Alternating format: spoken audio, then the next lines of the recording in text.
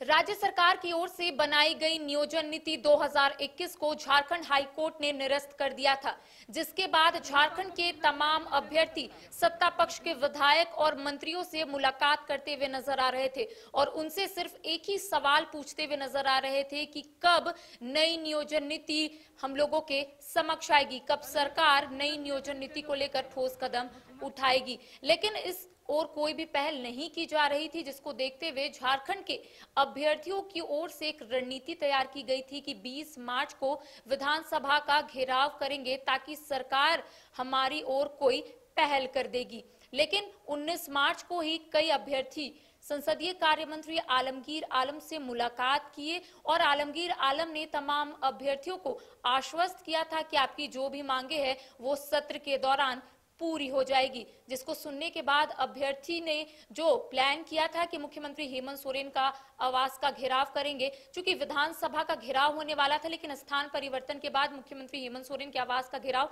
20 मार्च को होने वाला था, जिसे स्थगित कर दिया गया था। तो स्थगित सुनने के बाद कई जिलों के अभ्यर्थियों में नाराज़गी भी साफ़ तौर पर देखने को मिल रही थी। कुछ अभ्यर्थियों की ओर से अब 23 मार्च को विधानसभा का घेराव नीति को लेकर सरकार कोई ठोस कदम नहीं उठा सभा का घेराव करेंगे ताकि सरकार नई नियोजन नीति हम लोगों के समक्ष लेकर आएगी और जो नियुक्ति, जो परीक्षाएँ रुकी हुई है, वो चालू हो सके। इस वक्त हमारे साथ हमारे सहयोगी सम्राट मौजूद है। मिनी से बात करेंगे, जानने की कोशिश करेंगे कि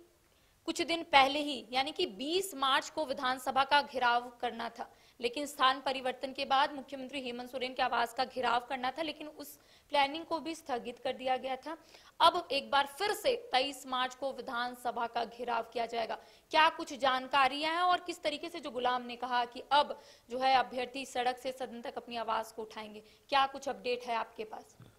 जी, ज़ाहिर सी बात है, करिश्मा, जिस तरीके से अभ्यर्थियों ने कहा था 20 मार्च को विधानसभा का घेराव करेंगे, लेकिन स्थान परिवर्तन के बाद उन्होंने कहा कि मुख्यमंत्री आवास का घेराव करेंगे, जिसको लेकर 19 मार्च को आलमगीर आलम से कुछ अभ्यर्थियों की मुलाकात हुई और उन्होंने आश्वस्त किया कि नई नियोजन नीति के बारे में उनको जल्द ही बताया जाएगा, उनको स्पष्ट किया जाएगा। हालाँकि कुछ ही अभ्यर्थियों को, आलमगीर आलम ने यह बात बताया, लेकिन राज्य भर के अभ्यर्थियों को ये चीज़ की जानकारी नहीं है और जिसको लेकर अभ्यर्थियों के जो समूह है, वो नाराज़ है। जिसको लेकर के गुलाबी ने आह्वान किया है कि कल यानी 23 मार्च को वो विधानसभा का घेराव करेंगे।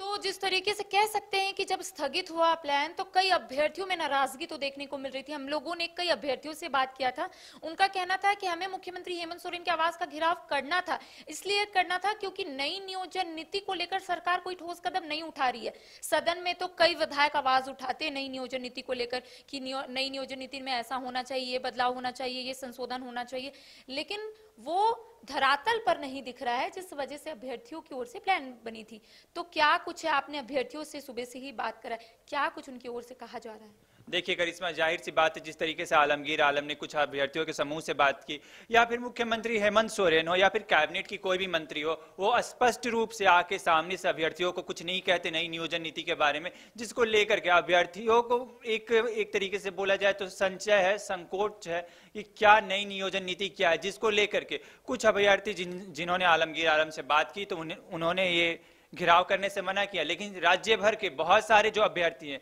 जिनको नई नियोजन नीति के बारे में पता नहीं है और जिनको सरकार स्पष्ट रूप से सामने से आकर नहीं बता रही है, इसी का परिणाम है जो कल अभ्यर्थियों ने निर्णय लिया है कि 23 मार्च को विधानसभा का हम घेराव करेंगे। लेकिन इससे पहले हम लोगों ने देखा होगा की सत्ता पक्ष के कई विधायक मंत्री सिर्फ़ यही बोलते हुए नज़र आ रहे थे या फिर मीडिया से मुखातिब होते हुए यही बोलते हुए नज़र आ रहे थे कि सिक्सटी फोर्टी रेशियो कहाँ से आया। लेकिन जो मुख्यमंत्री हेमंत सोरेन की ओर से जो ऑडियो जारी किया जा रहा था, उसमें मुख्यमंत्री हेमंत सोरेन ने 2016 से पहले का ज़िक्र किया था। यही सुनने के बाद अभ्यर्थियों के मन में 60-40 का रेशियो आया, क्योंकि 2016 से पहले तो 50-50 था, फिर उसे रिज़र्व करके 60-40 हुआ तो अभ्यर्थियों की जो मांग है, वो तो जायज़ है और ये लगातार सत्ता पक्ष के विधायक मंत्री समझ रहे हैं। उनका कहना है कि झारखंड झारखंडियों के लिए तो फोर्टी ओपन फॉर ऑल क्यों है? और यहाँ पर एक अभ्यर्थी ने यह भी कहा था कि अगर ऐसा होता है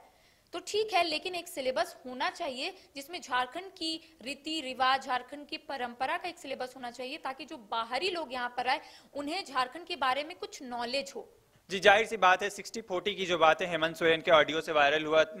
और जिसका विरोध खुद हेमंत सरकार के जो विधायक है, शिल्पी नेहा तिर्की हो गई या फिर अंबा प्रसाद हो गई, वो विरोध कर रही है। तो ज़ाहिर सी बात है, अभ्यर्थी भी विरोध करेंगे। जिस तरीके से आपको पता ही होगा, झारखंड के अलावे बिहार में, तमिलनाडु में, महाराष्ट्र में या फिर अलग अलग प्रदेशों में, वहाँ के स्टूडेंट को, वहाँ के राज्य के स्टूडेंट को देखा जाता है, उन्हें उन्हें प्राथमिकता दी जाती है। उसी तरह तरीके से झारखंड के अभ्यर्थी भी चाहते हैं कि यहाँ पे उनको इस तरीके से प्राथमिकता मिले ताकि वो यहाँ पे एग्ज़ाम दे सके और सफल हो सके। जन, आपको बता दें कि जिस तरीके से झारखंड के अभ्यर्थियों का कहना है कि एक ऐसा सिलेबस लाया जाए जिसमें झारखंड के कल्चर की बात की गई हो, झारखंड की परंपरा की बात की गई हो, जो झारखंड के अभ्यर्थी, झारखंड के मूलवासी इसको अच्छे तरीके से समझते हो और इसका एग्ज़ाम दे, ताकि बाहरी को ये चीज़ों की जानकारी ना हो और जिसका फ़ायदा यहाँ के स्टूडेंट को मिले।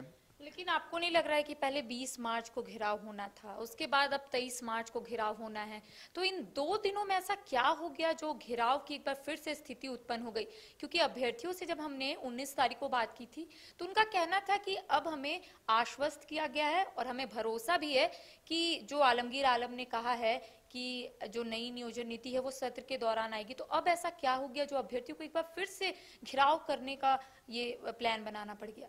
देखिए ज़ाहिर सी बात है, जो आलमगीर आलम ने बात की, कुछ ही अभ्यर्थियों के समूह से बात की है, वो अगर वो राज्य में आ गए या फिर खुले प्लेटफॉर्म पे मीडिया के थ्रू अगर ये बात स्पष्ट रखते कि नई नियोजन नीति क्या है और किस तरीके से है तो शायद ये तेईस मार्च का जो प्लान है, वो नहीं हो पाता। लेकिन सरकार या फिर हेमंत सोरेन हुई या फिर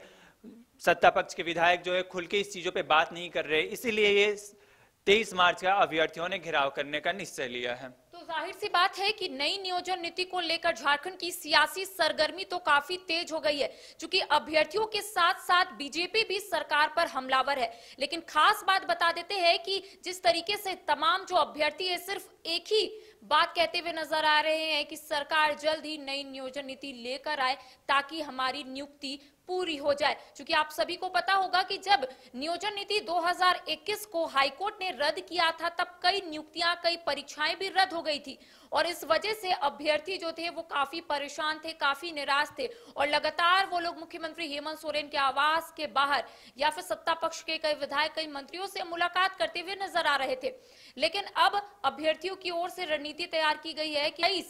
मार्च को झारखंड के तमाम अभ्यर्थी विधानसभा का घेराव करेंगे और सरकार तक अपनी आवाज़ को पहुंचाएँगे। बहरहाल जो भी हो, लेकिन ये देखना बिल्कुल दिलचस्प होगा कि किस तरीके से तमाम जो अभ्यर्थी अपनी आवाज़ को सदन के अंदर तक पहुंचाते हैं, क्योंकि सदन के अंदर तमाम जो विधायक है, वो उनकी आवाज़ तो उठा रहे लेकिन अभ्यर्थी जो सरकार को बोलना चाह रहे शायद वो आवाज़ वहाँ तक नहीं पहुँच पा रही है, इसीलिए तमाम चीज़ों पे विलंब हो रहा है। अब देखने वाली बात होगी कि आखिर तेईस मार्च को किस तरीके से अभ्यर्थियों का जो घिराव है, वो सरकार तक पहुँचता